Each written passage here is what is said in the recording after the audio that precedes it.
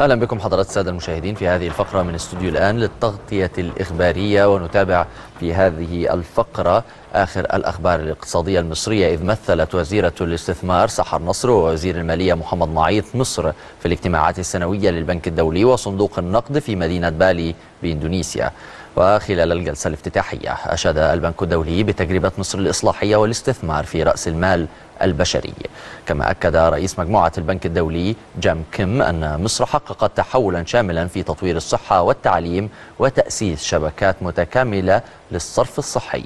مشيرا إلى أن البنك الدولي ساعدها في استقطاب الاستثمارات الأجنبية من القطاع الخاص في مجال الطاقة الجديدة والمتجددة ما أدى إلى زيادة المساحة المالية للحكومة بنحو 14 مليار دولار. للمزيد ينضم إلينا هاتفيا الدكتور فخري الفقي مستشار صندوق النقد الدولي السابق. معالي المستشار أهلا بك على اكسترا نيوز دكتور فخري. أهلا صباح الخير. صباح النور يا فندم أهلا بك. آه، إشادة آه، البنك الدولي وصندوق النقد الدولي في جلسة افتتاحية يحمل الكثير في طياته. يعني لما قرر البنك الدولي الآن الخروج بمثل هذا التصريح؟ هو وصندوق هو- النقد الدولي بالطبع.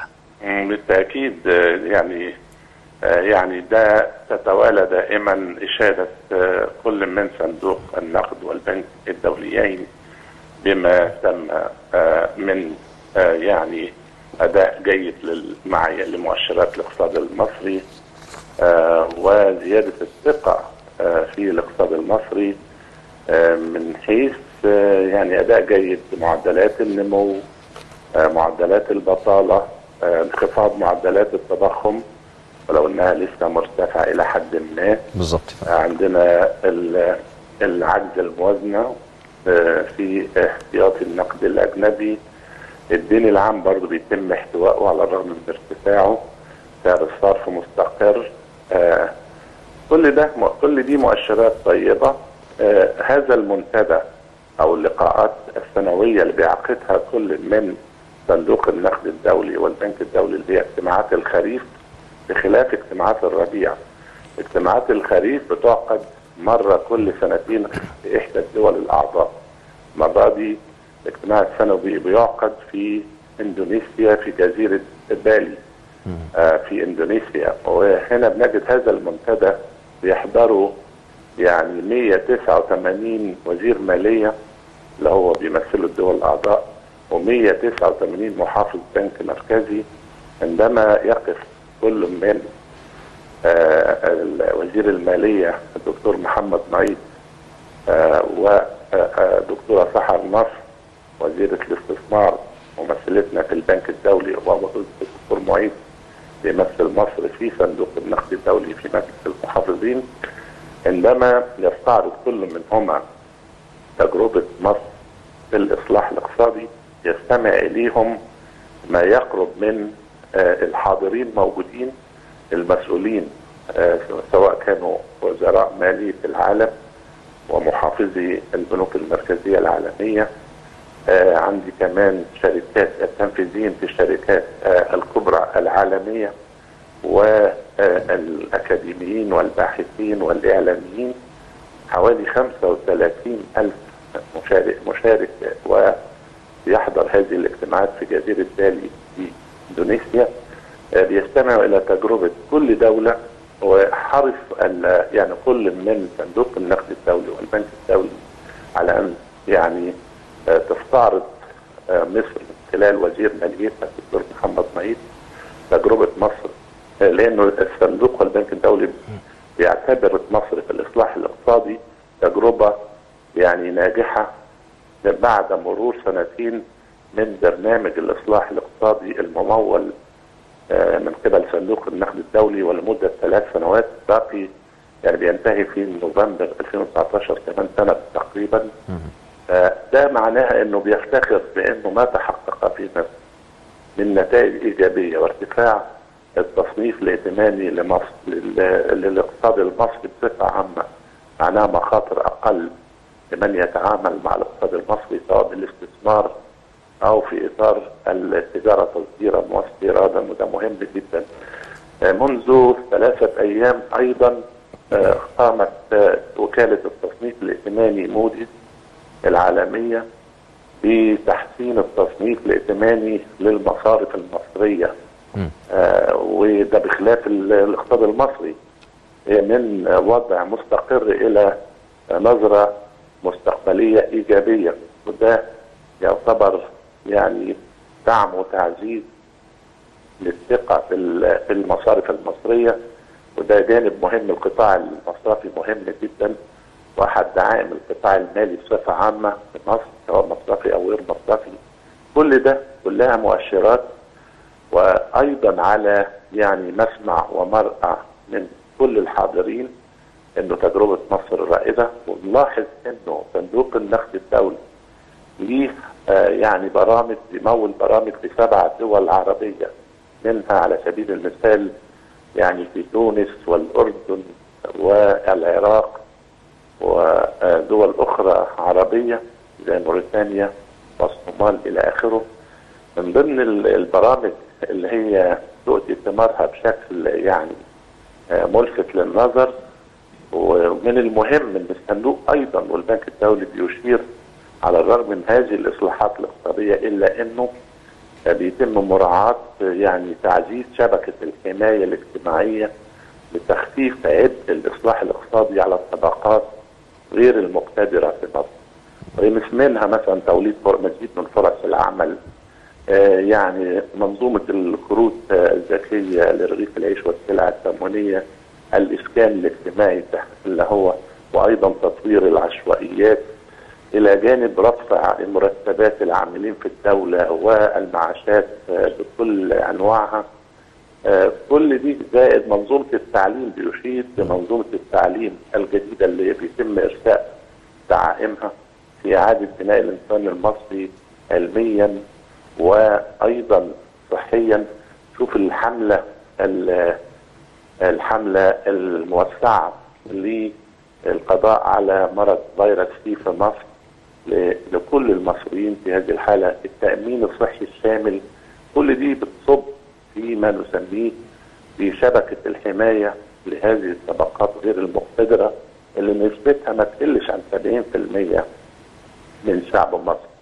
سواء كانوا آه، من الفقراء 27% من يعيشون دون خط الفقر أو شريحة كبيرة من الطبقة المتوسطة يعني آه، تأثرت بما تم من في من منذ 2011 حتى 2014 هنا بيتم علاج الموقف ببرنامج للإصلاح الاقتصادي وفي نفس الوقت مع مراعاة إن إحنا نخلي بالنا من إن الإصلاح معناها تكلفة معناها عبء على الطبقات غير المقتدرة هي اللي بتشعر بدرجه كبيرة بعبء الإصلاح الاقتصادي.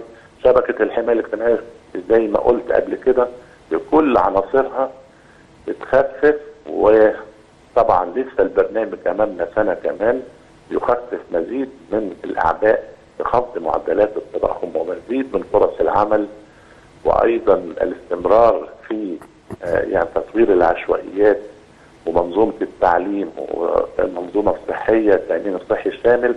طبعا كل دي ثمارها مثلا التعليم هيستمر تدريجيا إلى أن يؤتي ثماره لما اولادنا اللي هم في رياض الاطفال الكي جي 1 يعني خلال 12 سنة بنجد جيل جديد طالع متعلم كويس.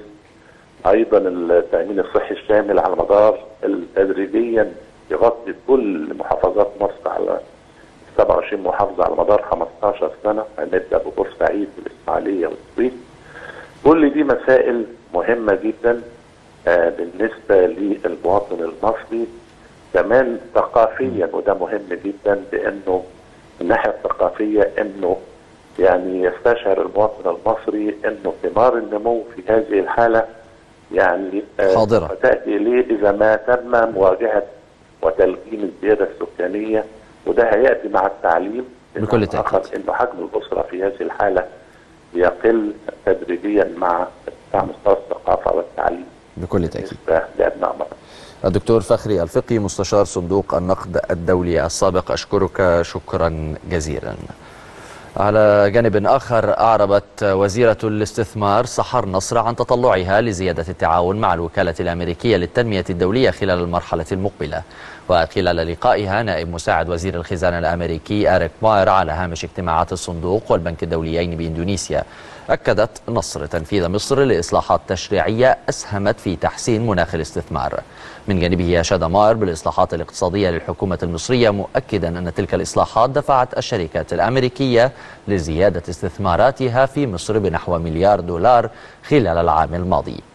ينضم إلينا هاتفيا الدكتور عبد المنعم السيد مدير مركز القاهرة للدراسات الاقتصادية. دكتور عبد المنعم أهلا بك على إكسترا نيوز أهلا بك آه ماير أو أريك ماير مساعد وزير الخزانة الأمريكي له تصريح بأن الإدارة الأمريكية أو الشركات الأمريكية آه زادت من استثماراتها في مصر بنحو مليار دولار خلال العام الماضي.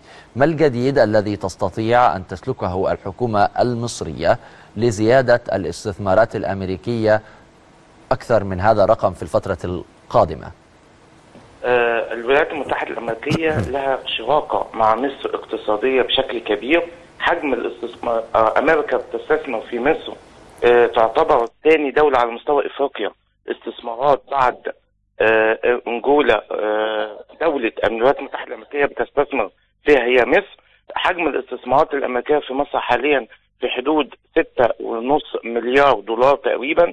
من المتوقع زيادة حجم هذه الاستثمارات نتيجة أنه هناك بعثات أولا كثيرة وفي جدية في البعثات والوفود التجارية والصناعية اللي بتأتي من الولايات المتحدة الأمريكية سياسات الإصلاح الاقتصادي اللي بتتبناها مصر حاليا وتحسين البيئة التشريعية سواء كان بقانون الاستثمار الجديد سواء كان بالتعديلات على قانون الشركات قانون 159 لسنة 81 الخاص بشركات الأموال.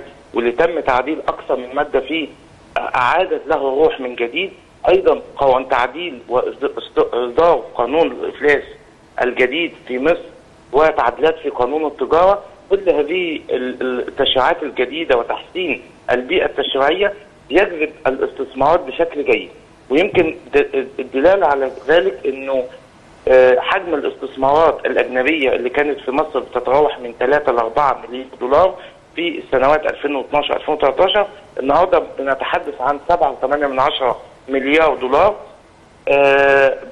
كإجمالي استثمارات أجنبية دخلت في مصر مباشرة دخلت مصر خلال العام الماضي اللي انتهى في 30 يونيو 2018 لكن لو رجعنا لحجم الاستثمارات الأمريكية كما قلت أمريكا من بتستثمر في مصر بشكل جيد ولكن زيادة حجم الاستثمارات هيتم توجيهها التوجه لها للطاقه الجديدة والطاقة المتجددة بشكل كبير أيضا الصناعات الهندسية اللي الولايات المتحدة الأمريكية مهتمة بها لتفعيلها وتدعيمها داخل الدولة المصرية بشكل جديد. ما علينا إن إحنا نقوم به هو التسويق الجيد للفرص الاستثمارية الموجودة داخل مصر بشكل جيد لا سيما في منطقة المثلث الذهبي لا سيما في إقامة المناطق الصناعية الجديدة اللي من اللي هتخدم الصعيد وهتخدم كثير من المناطق النائية داخل مصر الحوافز والضمانات اللي بيتم إعطائها للدولة للدول المستثمرة والمستثمرين الأجانب والعرب وأيضا المصريين بشكل جيد أعتقد إن التسويق الجيد هو العامل الأساسي اللي إحنا بنعول عليه زيادة حجم الاستثمار سواء كانت الأمريكية أو غيرها من الاستثمارات العربية والأجنبية.